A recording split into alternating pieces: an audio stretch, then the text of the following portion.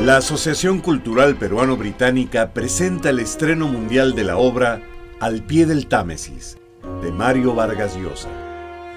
Dirigida por Luis Peirano. De jueves a lunes a las 8 de la noche, en el Teatro Británico, Girón Bellavista 527, Miraflores. Hasta el 19 de mayo. Venta de entradas en Teleticket y en la boletería del teatro.